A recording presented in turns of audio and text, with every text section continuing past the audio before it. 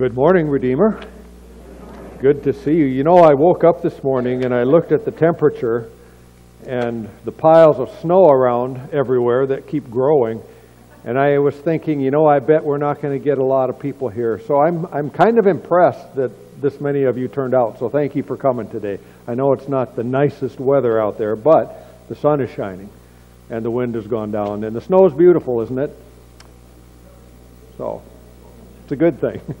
Uh, I do not have a lot of announcements. Just a reminder of the new member reception coming up next month in about three weeks from today. So let me know still if you're wanting to do that. If you haven't, let me know. And then uh, just check your bulletin for anything else that might be in your schedule. Uh, uh, visitors this morning, a special welcome. Good to have you here. Uh, I don't know who all of you are, or I know who you are, I just don't know where you're at but it's good to have you here with us this morning. I'd like to open our service with just these couple of verses in 1 Samuel chapter 2. And this is the prayer of Hannah, the prophet Samuel's mother. And she said, My heart exalts in the Lord. My horn is exalted in the Lord. There is none holy like the Lord. There's none besides you. There is no rock like our God. Father God, we come together, we gather under the canopy of your grace and your holiness this morning. And Lord, let it descend upon this gathering, upon this assembly of your people. And God, we pray that your word and your presence would continue to shape us and mold us and if need be, change us according to your will. In Jesus' name, amen. We're going to begin as we worship him, uh, knowing that there is no other name given among us by which we must be saved. So we'll sing the name of the Lord and then uh, acknowledge him as our King as we continue to worship. Let's sing together.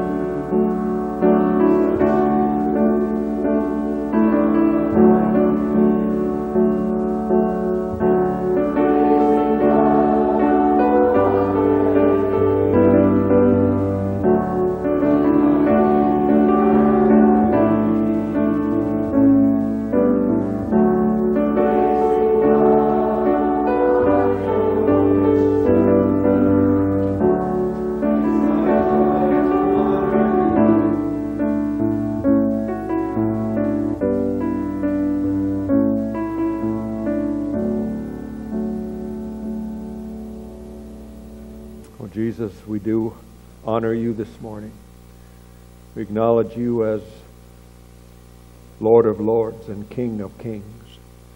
We acknowledge you as the only hope that we have for this world and for eternity. Because of your goodness, your grace, your unconditional love. God, thank you that in spite of who we are, you died for us.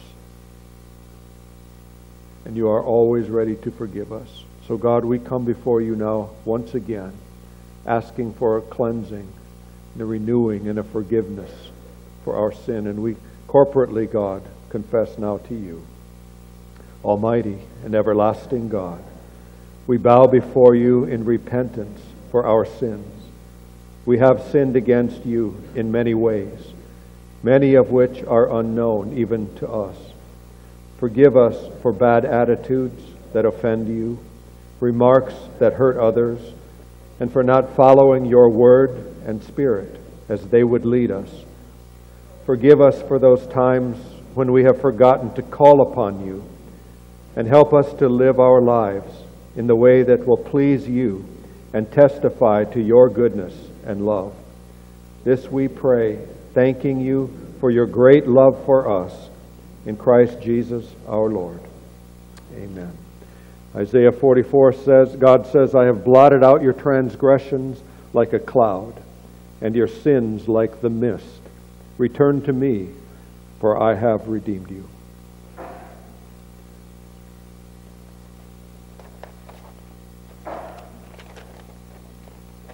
We move into our prayer time, and I do have, again, a partial list. Uh, we prayed last week for Carol and Dr. Regeer's grandson, Josh Newman, and he went in for this brain scan, and, and they found problems with that scan, and they're waiting and hoping desperately to be able to get in soon to a neuro uh, a neurologist to find out a solid diagnosis and a plan for treatment. So we're going to continue to pray that that door is opened soon for Josh.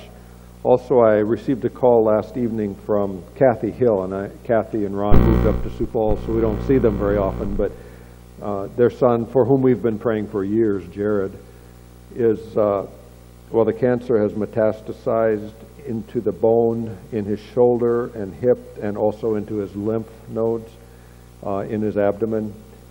And they are starting chemo in Eau Claire, but apparently there's some procedure they need that Eau Claire doesn't provide. They need to go to Rochester for some radiation treatment. So she's asking for a miracle and for healing for Jared. So we'll lift up Jared this morning.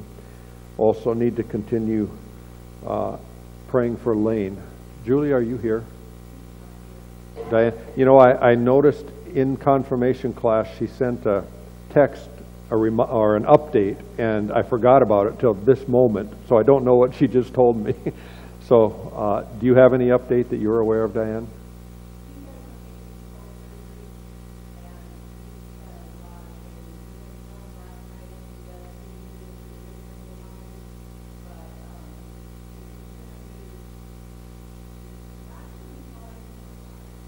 Okay. So he needs some patience too. Okay. Uh, also would ask your prayers, continued prayers for Eileen Huseman. She's still at Sanford. She's been there, oh goodness, five, six weeks now. And uh, some other complications came up this week, and she still doesn't have a place to be discharged to, So that I know of anyway. So we need to pray for that open door too. Um, and then ask your prayers for uh, Linda or Linda's ex-husband Jim Fossum, who suffered a heart attack and went through four bypasses just in recent days. So we're going to pray for that situation as well. Any other requests? Yes, uh, first read and then Dwight.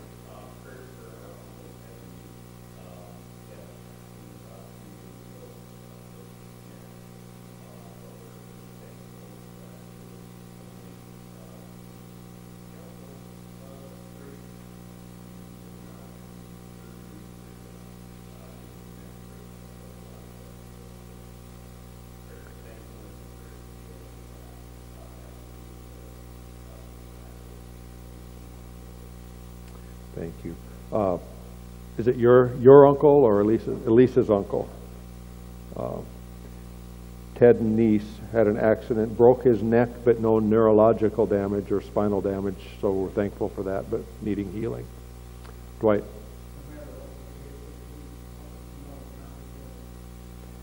Thank you. God is always there, no matter what you're going through, is the reminder. Is there another hand? Yes, John.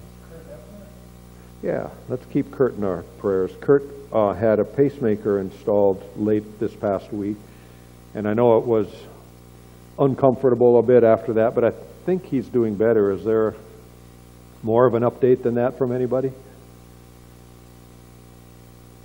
Okay. Well, they, they didn't make your coffee this morning, so he's not quite there yet, but he's, he's on the way. Any others? Yeah, Kathy.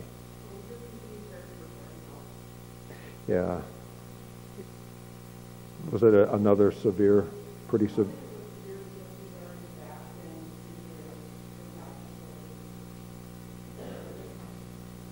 Jordan Hout underwent or experienced a, another uh, stroke while in rehab, but Kathy says he's back in rehab again, so hopefully that's improving more quickly this time.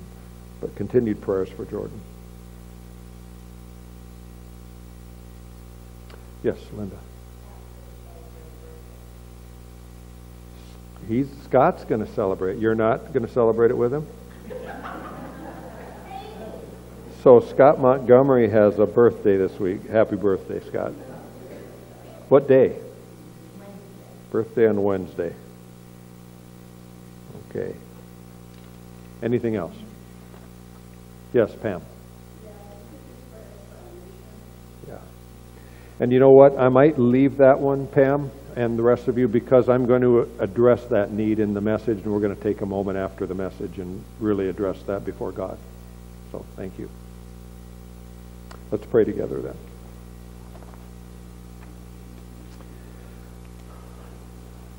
Father God, thank you that you are always, I'll start with that request that came up, the reminder that you are always there, always ready to answer if we'll just call on you.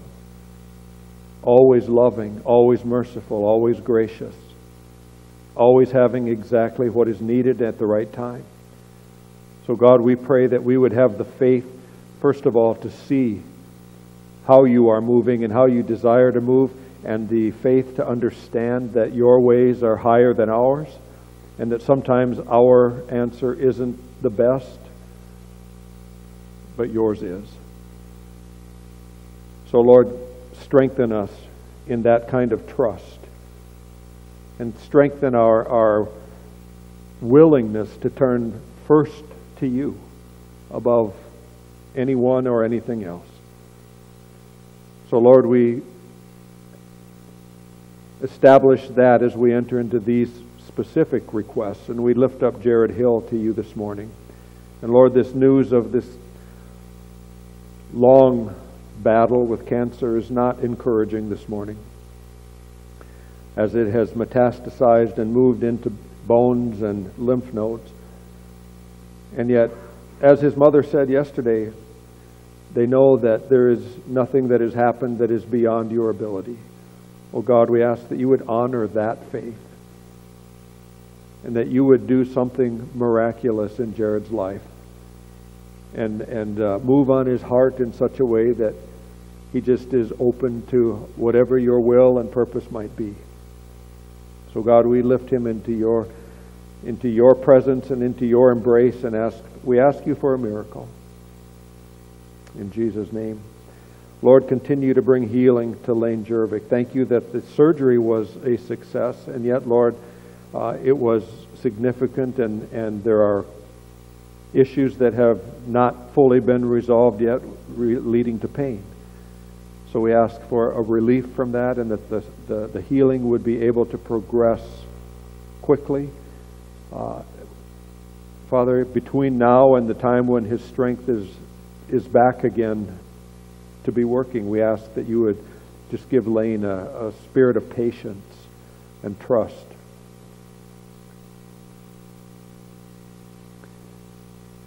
Father, we ask for your guidance and answers for Eileen Huseman as she continues to heal from her recent surgery and, and also, Lord, look for a home. We pray, God, that you, in your infinite wisdom, would open up the perfect place for her in the perfect timing.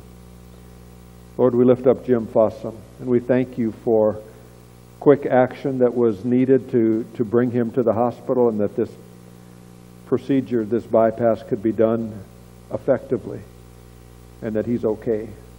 So, Lord, we just commend him into your hands for healing in every way that is needed. Father, we pray for Elisa's uncle, Ted Neese. And first, Lord, we, we thank you that an accident which could have been severely life altering perhaps will not be, and that that kind of damage was not sustained. So we give you thanks and praise. And yet, Lord, healing is needed. So we entrust him into your, your keeping. We ask your touch upon him. We ask, God, that his heart would be directed right toward you, recognizing your goodness and your strength. Father, we pray for healing for Kurt Hepner. Thank you, Father, that this pacemaker procedure was completed. And Lord, we pray that it would be the thing that would give the answer to the many questions that have arisen in recent weeks and months that that would be resolved. So bring him to full healing and energy and strength in Jesus' name. And Lord, we continue to pray for Jordan Hout, who's been in a long battle and a long recovery following a severe stroke and now suffering another. And Lord, we pray that even with this setback, that he would see and that people who look to you would see that your purpose in him and through this experience has not changed and Give us faith. Give them faith. Give all who are aware of the situation faith that all things do work together for good with those who love you and are called according to your purpose. And Father, we pray that that good would become evident in his mind and heart and in those who would witness how you work through his life. Father, I know there are other situations and needs in our congregation and community that need your touch, that need you to be in the center of it. And we ask God for your healing, your encouraging, your strength wherever those needs exist. And Lord, they've been given freely through your Son, Jesus Christ, who gave himself freely for us. And Lord, it's in his name now that we pray together. Our Father, who art in heaven hallowed be thy name. Thy kingdom come, thy will be done, on earth as it is in heaven. Give us this day our daily bread, and forgive us our trespasses, as we forgive those who trespass against us.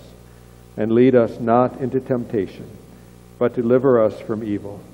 For thine is the kingdom, and the power, and the glory, forever and ever. Amen. And Lord, even though I forgot, we know you didn't, that Scott is going to be celebrating this, this week. So bless that, that anniversary date. Bless his day and family and all who are in touch with him on that day. And shine brightly through him as you are. In Jesus' name, amen. All right, if you would look to your bulletin uh, to the second page, I would invite you to join responsively in our reading from the 67th Psalm, our responsive reading. May God be gracious to us and bless us and make his face to shine upon us.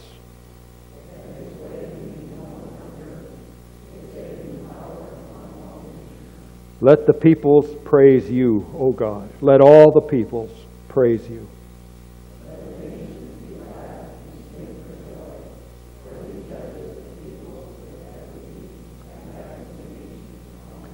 Let the peoples praise you, O God. Let all the peoples praise you.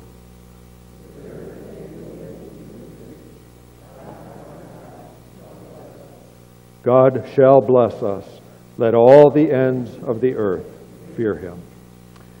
We call on our ushers at this time to receive our tithes and offerings.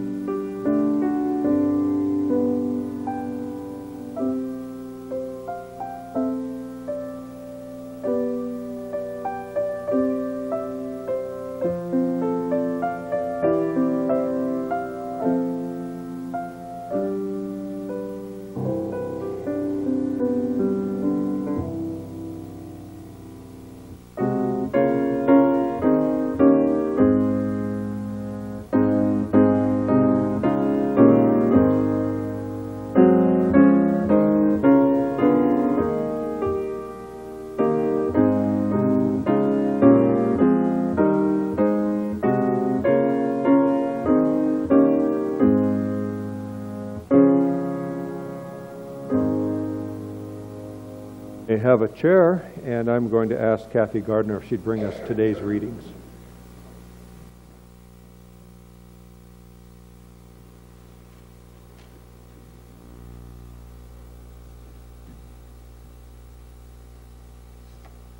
Good morning.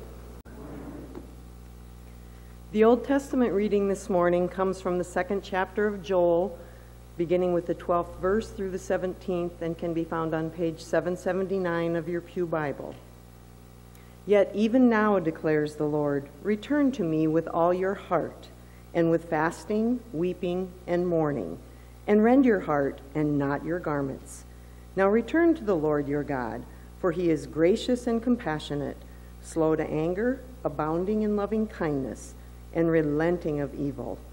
Who knows whether he will not turn and relent and leave a blessing behind him, even a grain offering and a drink offering for the Lord your God?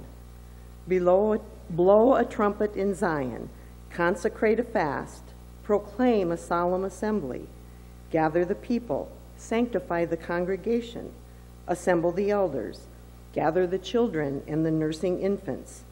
Let the bridegroom come out of his room, and the bride out of her bridal chamber. Let the priests, the Lord's ministers, weep between the porch and the altar, and let them say, Spare your people, O Lord, and do not make your inheritance a reproach, a byword among the nations. Why should they among the people say, Where is their God?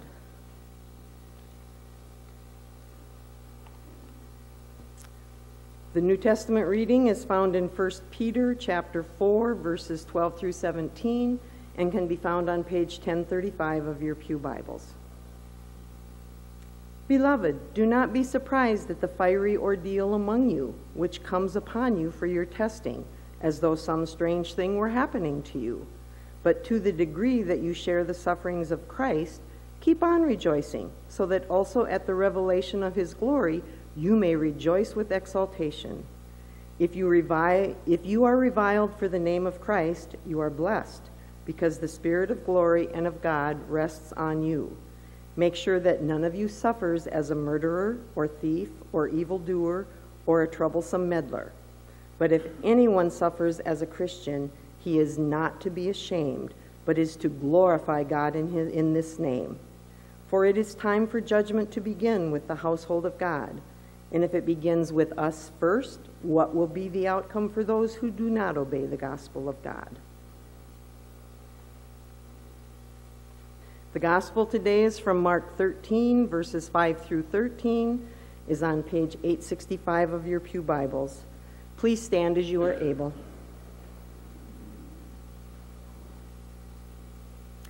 And Jesus began to say to them, See to it that no one misleads you. Many will come in my name, saying, I am he, and will mislead many. When you hear of wars and rumors of wars, do not be frightened. Those things must take place, but that is not yet the end. For nation will rise against nation, and kingdom against kingdom. There will be earthquakes in various places. There will also be famines.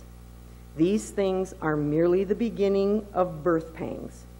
But be on your guard, for they will deliver you to the courts, and you will be flogged in the synagogues, and you will stand before governors and kings for my sake as a testimony to them. The gospel must first be preached to all the nations. When they arrest you and hand you over, do not worry beforehand about what you are to say, but say whatever is given you in that hour, for it is not you who speak, but it is the Holy Spirit. Brother will betray brother to death, and a father his child, and children will rise up against parents and have them put to death. You will be hated by all because of my name, but the one who endures to the end, he will be saved. Here ends the readings. Thank you, Kathy. You may be seated, and we'll sing uh, Be Thou My Vision.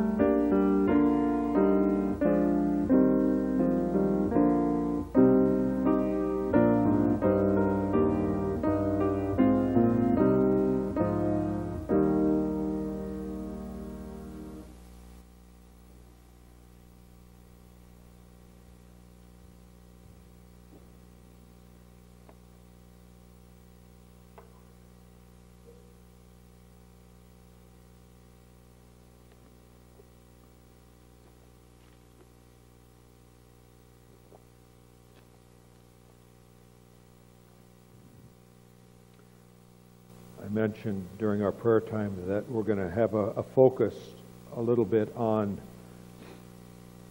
our nation this morning in the, in the message time. Uh, so I, would like to kind of put a spotlight on that, and in particular then on how God would have His church respond to what we're seeing uh, in our nation and in our world. And I, I, I'll just start by saying I don't think there probably would be too many here who would say, well, they have no concern over what's happening in our own country uh, or in the world for that matter. And I know we could break that down into specifics like what's happening, happening politically or what's happening ethically or, or morally. Uh, but the reality is, all of those individual areas are given their direction by one thing. And that one thing is the spiritual condition of the people that make up the nation. That's what's behind it.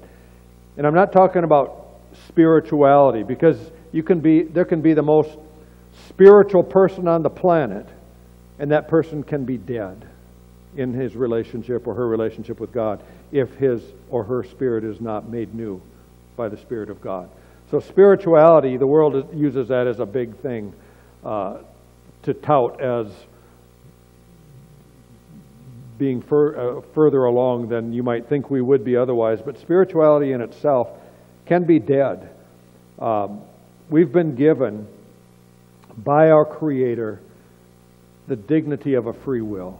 When He created us, He gave us that. In other words, God cares about whether or not the relationship that we have with Him is one of arrangement by Him or one that we freely enter into. That matters to God. Okay? Now, think of that on a human level. Do you think it makes a difference, the love between two people, whether or not they chose to be together or whether they were told they were going to be together by somebody else? And I know that happens in the world still, in some cultures. Uh, but God desires to be in a relationship with us where love is freely given rather than leaving us with a choice in the matter. That's a greater expression of love. But that expression of love doesn't come without risk. The risk is this when He gives us that freedom, the risk is we might choose to love someone else. just like every individual person, every nation of the world stands at a particular position before God or in a position with God. Every nation as well as every person. And, and every nation has its own special, uh, specific circumstances which have led to its current position before God. In America, most of us would probably say, you know what, we're in some trouble. We're in some trouble. Not because we've distanced ourselves from the Lord more than any other nation. I think we're in trouble because of the heights from which we have fallen as a nation. You know, God notices the paths, again, whether individually or nationally, that we take through life and through history for that matter. God notices that. He's watching. And, and some nations in this world have never known him, or maybe for hundreds or even thousands of years, have not known or walked with the Lord. That can't be said of America. I mean, we're 247 years old as a nation. We were founded on the basis of seeking God and then establishing what we stood for on what He declared to be truth. That's what we were founded on. And as a nation, we've experienced how truthful God's words really are uh, because more than 3,000 years before the United States was ever a dream, God said, Blessed is the nation whose God is the Lord. And the Lord has blessed and prospered this nation above what most other nations of the, of the world have experienced.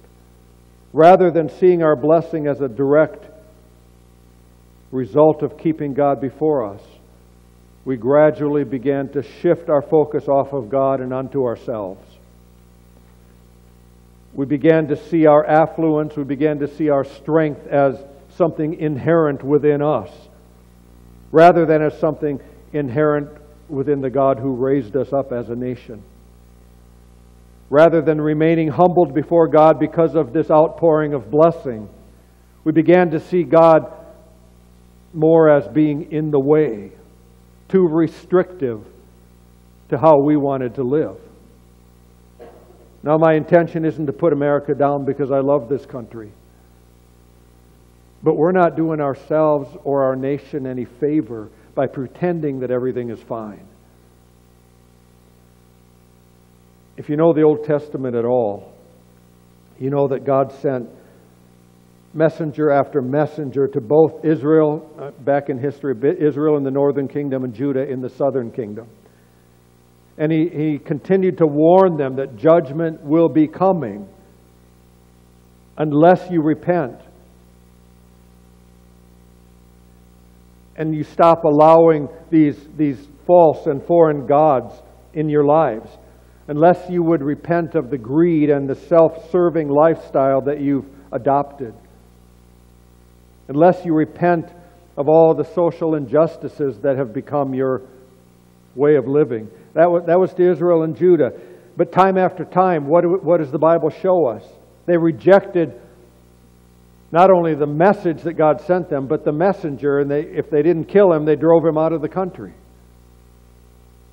And the kings of Judah and Judah, kings of Israel and Judah, would hire their own prophets and tell them, send them out into the nation and say, This is what I want you to proclaim that God would never bring judgment. We are His chosen people and we're in good favor with Him. That was the hired messenger through Israel and Judah, as if human beings can put words in God's mouth and cause them to be fulfilled. Well, both Israel and Judah fell. They fell hard. If you know their history, uh, Israel in 722 BC at the hand of Assyria, and 136 years later, Judah fell at the hand of Babylon. Not only did they lose their freedom to worship God, they lost their country. They lost their land for a time. They even uh, were deported as slaves to foreign lands. And you might be thinking, well, that was Israel. They, they were held to different standards than Gentile nations. And I, I can't go along with that because the reason their story is recorded in the scriptures is because God revealed his heart and he revealed how he acts and will act in history. And he revealed through them his purpose, not just for them, but for all people.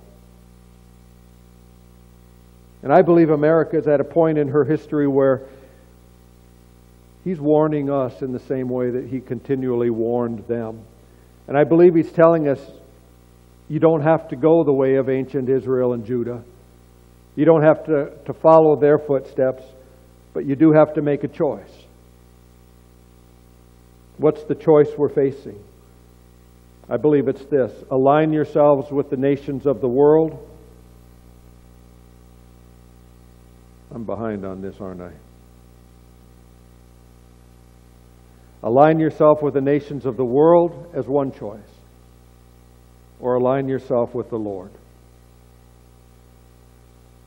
To line up with the nations is to decide that we're confident in our own wisdom, in our own strength, believing that with our wisdom and strength and joining forces with the wisdom and strength of other nations, we can make this world into something even more incredible. Is there a compromise to go that to going in that direction? Yes. You see, we might have to give up a little bit of our autonomy as a nation and maybe a few of our freedoms. And of course, we'd have to set aside anything that might stand in the way of developing a unity with the other nations, such as the, no- the notion that we are a Christian nation, because that's just too divisive. And that's pretty much the direction till now that we've chosen. Does it come with a price? Yeah, it does. The price of choosing the favor and blessings of the, na- of the nations is to lose the favor and blessing of the Lord. And beyond that, there's the price of facing his judgment for rebelling against his word. But you know, it's a, it's a price from which I still think God desires and would readily spare us. He really would if we would repent as a nation and turn back to Him. Psalm 2, as we, oh, we didn't read Psalm 2. Let me read a portion of it. First few verses say this Why do the nations rage and the peoples plot in vain? The kings of the earth set themselves, and the rulers take counsel together against the Lord and against his anointed, saying, Let us break their bonds apart and cast away their cords from us. You hear the mindset in that, in that, that determined decision that the nations make, thinking they don't need God. And certainly not his anointed. Now, his anointed is Jesus. We don't need him. People think God's ways are too restrictive, too binding. They see God's ways as these cords that are bound around us as people, as a nation. And they say, let's burst their bonds apart, cast away their cords. What does God think of this? Well, the psalmist tells us, verse 4 He who sits in the heavens laughs, the Lord holds them in derision. And here comes the sobering part. Then he will speak to them in his wrath and terrify them in his fury, saying, As for me, I have set my king on Zion, my holy hill. I mean, God is speaking now to a time that is yet coming.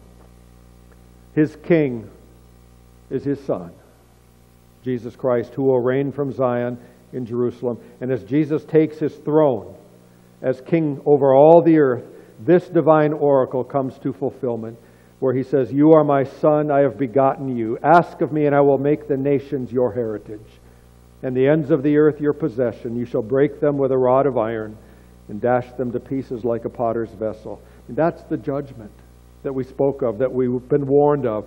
And that's what's coming, God says, ultimately to every nation which thinks they don't need Him. And the psalm closes with a warning and a promise, both of which America, I believe, would do well to listen.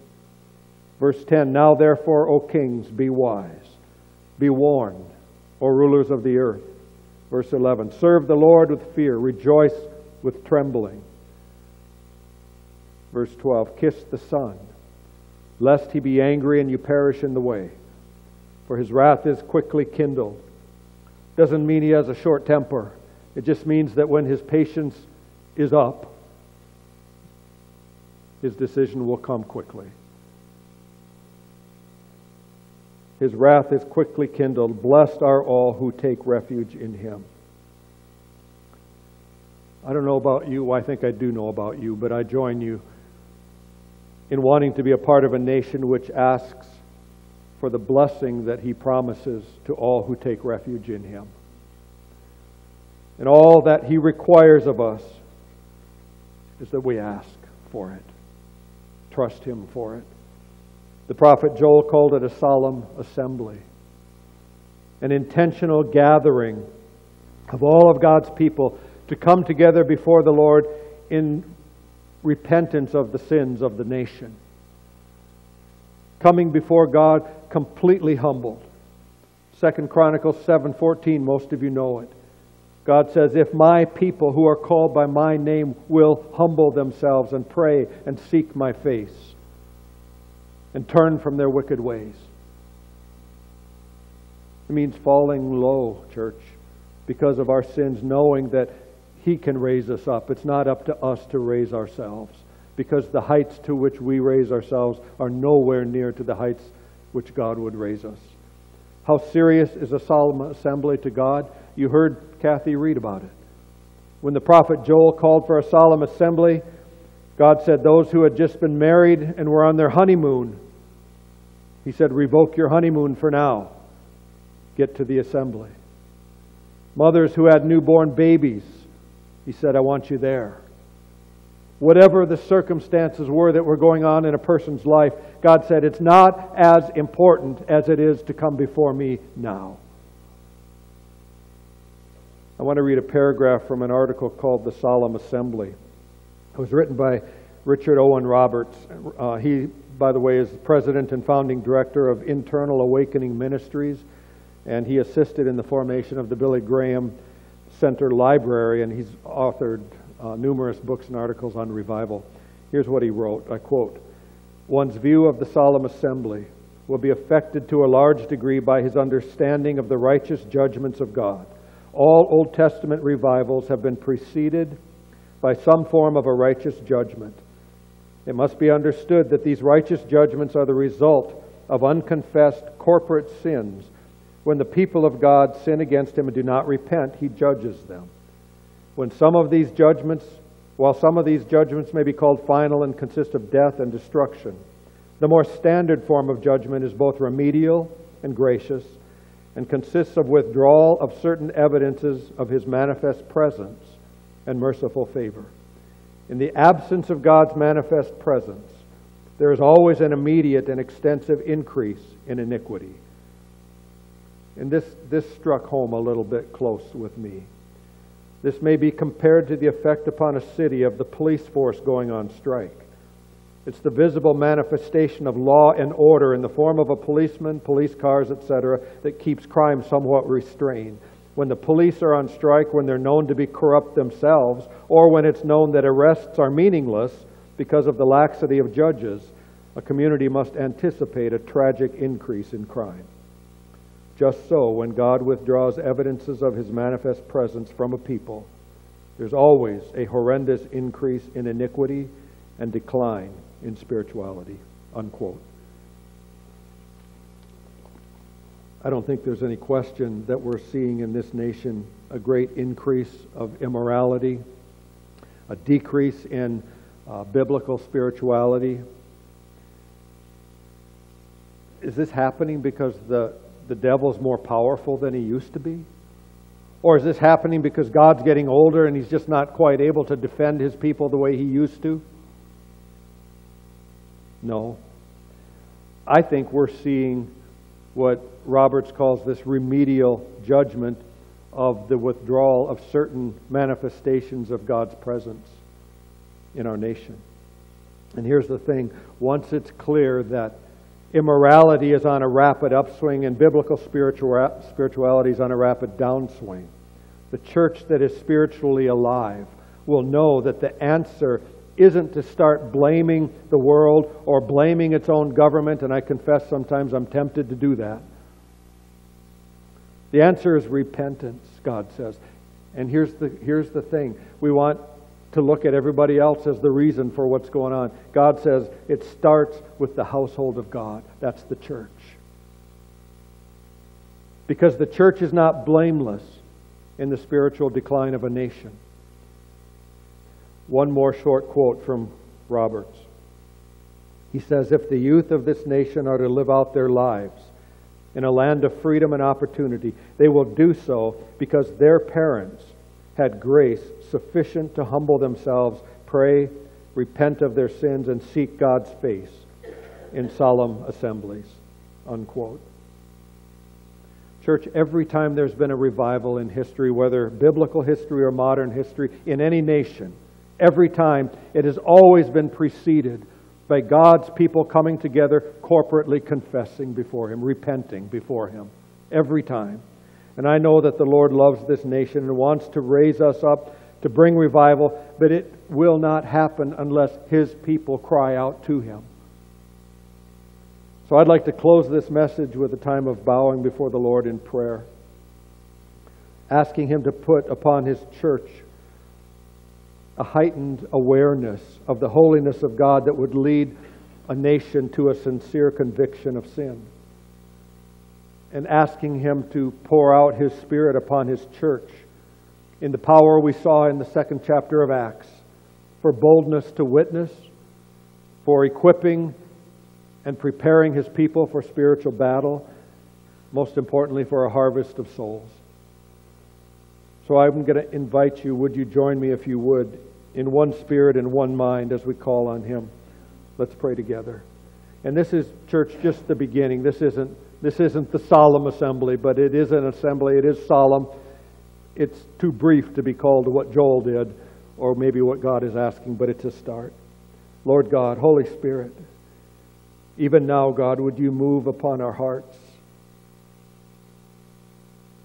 God, take away anything hindering this relationship with you. So, God, our hearts are open before you. Oh, God, we repent as part of a nation that thinks we don't need you anymore. And God, we acknowledge to you that Wall Street doesn't have the answers to the problems we face. Washington doesn't have the answers to the problems we face. The world's religions and the world's wisdom doesn't have the answer to the problems we face, but your word does. Oh God, convict our hearts. God, reveal to us how you see your church in America. And Lord, we ask for forgiveness. We ask you to forgive us for a lack of desperation for you. So, Lord, again, we repent before you today. We ask you for that you would place in our hearts a desire for holiness. And God, we ask that you would heal and raise up this nation as a light. Raise up your church, God, as a light to this nation. And then, Lord, let this nation once again be a light to the nations. And God, we know and confess before you that for that to happen, hearts must turn to you, for you are the only answer. We pray this in Jesus' name. Amen.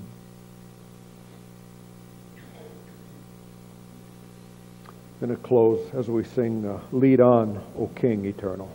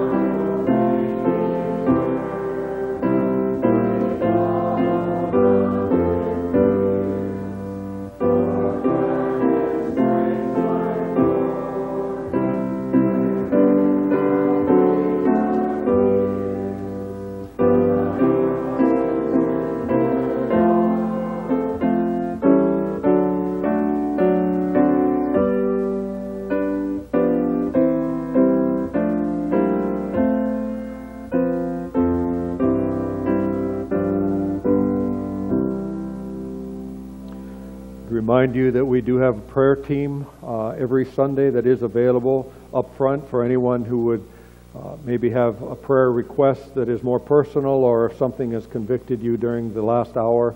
Uh, just take advantage of that. God sees that and He answers that. Receive the benediction. May the Lord bless you and keep you. May the Lord make His face shine on you and be gracious unto you. May the Lord lift His countenance upon you, give you His peace. In the name of the Father, and the Son, and the Holy Spirit. Amen. God bless you all and have a great week. Stay safe and be careful out there on the ice.